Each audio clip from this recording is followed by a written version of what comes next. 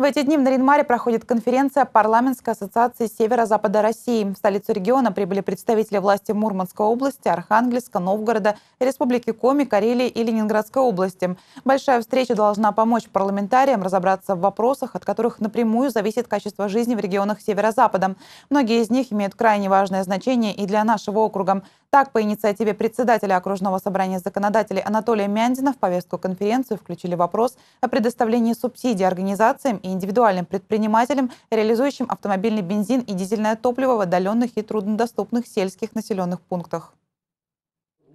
Строгий регламент – 5 минут на каждое выступление и никакого дополнительного времени. Всего парламентарии рассмотрели 19 проектов. Больше всего вопросов вызвал доклад председателя Архангельского областного собрания Виктора Новожилова. Тема доклада – территориальное общественное самоуправление как форма социального партнерства власти и гражданского общества на примере Архангельской области. Она очень актуальна и для нашего округа, потому что территориальное общественное самоуправление или сокращенно ТОС в настоящее время время у нас находится на стадии зарождения. В НАО создано 5 ТОСов. На территории Архангельской области их насчитывается 830.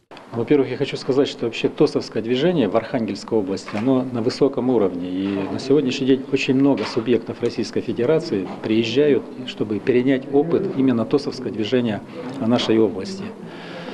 Что касается, вот много вопросов сегодня, видите, уже задавали, что, как, что такое ТОСы, э, как вы вообще, ну, э, во, многих, во многих э, регионах и нет представления еще именно о ТОСовском движении.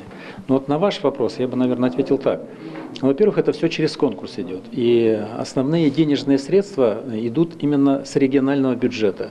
История ТОСов архангелогородцев имеет более чем 16-летнюю историю. Опыт колоссальный. Архангельская область – лидер России по количеству такой формы гражданской инициативы. ТОСы там есть почти в каждом муниципальном образовании. Благодаря программе по поддержке общественного самоуправления в Архангельске удалось отремонтировать дороги, памятники, колодцы, спортивные площадки, придворовые территории, сельские дома творчества. Если большим ростом ТОСов в Архангельске могут похвастаться и всячески этому росту содействовать, содействует, то в Ленинградской области федеральные деньги нужны для предотвращения роста, но уже растительного происхождения. Борщевик сосновский, одно из самых ядовитых растений, прогрессирует на протяжении нескольких лет. Растение, попадая на кожу, вызывает тяжелейшие ожоги, вплоть до первой степени. Сегодня в Ленинградской области 70% районов необходима ликвидация этого растения.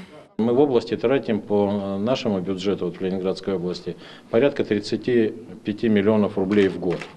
Результат не сильно высокий, особо похвастаться нечем. Поэтому здесь нужно э, скоординировать усилия, а для этого нужно привлечь федеральное участие.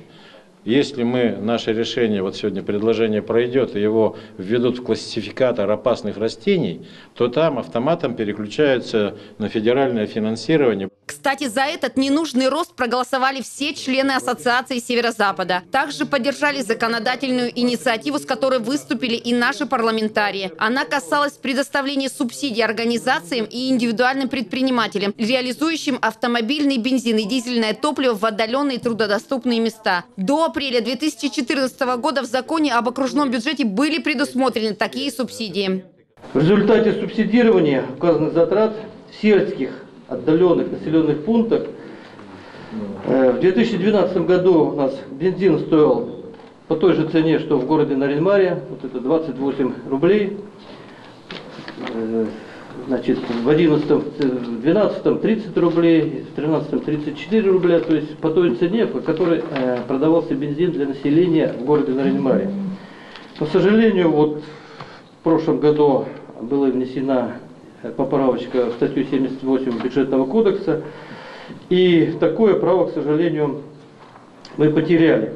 В результате цена бензина для сельского населения возросла в два раза. Теперь эта законодательная инициатива будет рассматриваться на федеральном уровне. И если Госдума и Совет Федерации ее одобрит, население Северо-Запада, проживающее в отдаленных и труднодоступных местах, будет покупать дизельное топливо и бензин по льготной цене, без учета затрат на доставку. Переоценить значение таких законов очень сложно. Они сразу нашли понимание у членов ассоциации. А вот ряд вопросов, касающихся культуры, сняли с повестки дня. Если обратили внимание, сегодня уж коснусь тоже, значит, сняли 8 вопросов. Э, комитета по культуре там и прочее, значит, очень по простой причине.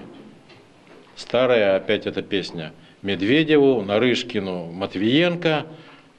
Вот такая проблема. Осуществите законодательное регулирование. Мы здесь для того, чтобы эти, это законодательное регулирование осуществлять. Не ждать, пока нам кто-то сделает. А наша работа депутатская в том и заключается профессиональная, что мы должны с учетом э, сегодняшнего состояния дел, законодательной базы, юридических нормативов, создать такой законопроект, который максимально получит поддержку в комитетах Госдумы, в Совете Федерации и станет законом федеральным. Последним вопросом конференции было принятие решения о месте проведения парламентской ассоциации Северо-Запада. Ее решили проводить в городе Калининграде в ноябре текущего года. Любовь Пермякова, Сергей Качегов, телеканал «Север».